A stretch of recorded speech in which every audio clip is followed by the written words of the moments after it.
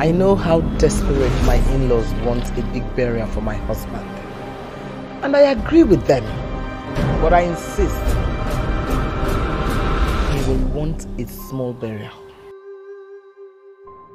Father, why? Why did you have to go? Why did you have to go? Why would you subject yourself to such barbaric nonsense just to prove you didn't kill Dad? I don't understand why are Dad's siblings being so nasty to you, so hostile. But The burial is over.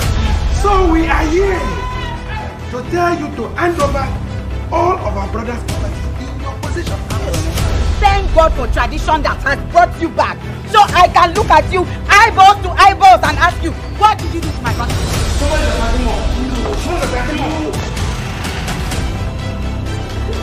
Yo, boy, what's up, bro? I think you found the best. Don't call my children a bastard! Shut This sightseeing or your mother's fate was being determined by people who can't even measure up to her in the society. When this one has tire on his ears, and you have also used cotton wool to block your own So ears. this money, money, money, go, yo, free.